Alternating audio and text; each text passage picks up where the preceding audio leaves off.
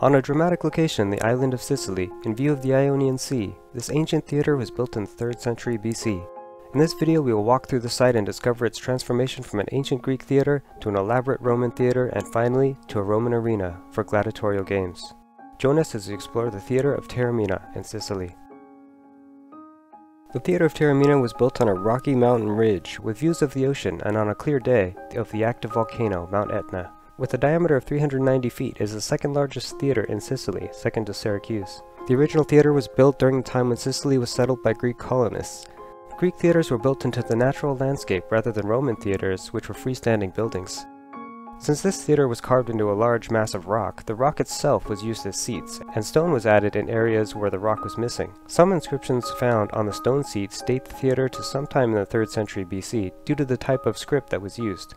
The entrance to the Greek theater for guests was approximately where this large opening is today. This leads through the orchestra, which is the area at the bottom of the theater where musicians and singers would dance and interact with the actors on stage above. The stage of the time was smaller than the future Roman stage and the modern stage we see now, which allowed the orchestra to be larger and possibly a full circle like this one at Epidaurus in Greece. Even after Sicily was annexed as a province in the Roman Empire in 241 BC, the city of Taormina still held the status of an allied city and retained its Greek culture. Roman colonists entered Taormina after the defeat of Sextus Pompeius, who was the son of Pompey the Great and had a fortress in Taormina. In 36 BC, a great sea battle occurred off the coast of Sicily, where Octavian's forces led by Agrippa defeated the fleet of Sextus, and Roman colonists entered Taormina. Later, likely in the time of Emperor Hadrian, the theater was greatly enhanced and reconstructed. The large covered walkway, supported by 47 piers, was created on top of the theater, and two vaulted basilicas were created on either side. The scene behind the stage was rebuilt and enhanced and was several stories tall. This was an elaborate building at the back of the stage where actors would also store props and change costumes. This would have been an impressive sight, covered in marble and different colored stones. Some of its former glory can be seen in the square column capital inserted above the doorway during restoration. These would have framed the doors in a similar way to these at Jerash and Jordan. The head of a former statue in the theater can be seen in the small museum on the site. The stage itself was extended at this time to make the orchestra a semicircular design, and some seats were cut off on the sides with the retaining wall added. Since the stage was extended, the original entrance now went onto the stage, and new entrances had to be created for spectators.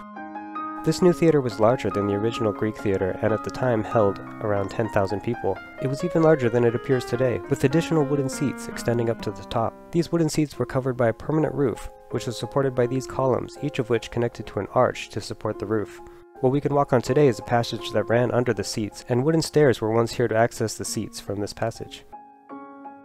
An additional roof also existed to cover the rest of the seats which could be moved by ropes as needed.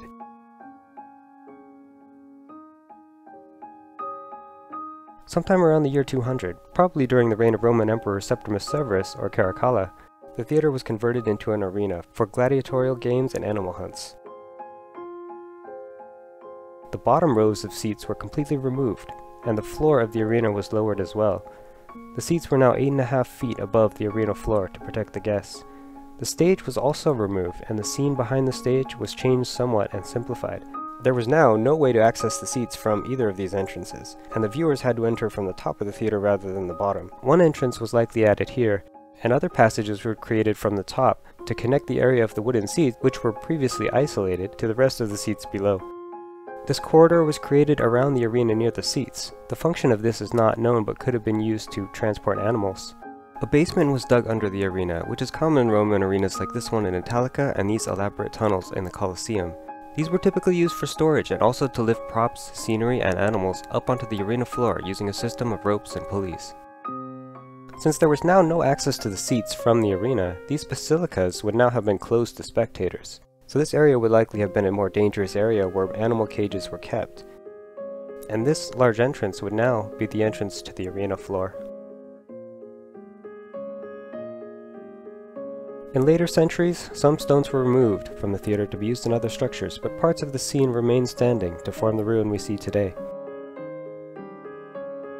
Thanks for joining us at History Victorum. My name is James. I'll include a link in the description to another video showing the reconstruction of the theater if you're interested. Feel free to check out our other videos as well in Sicily and other places, and thanks for watching.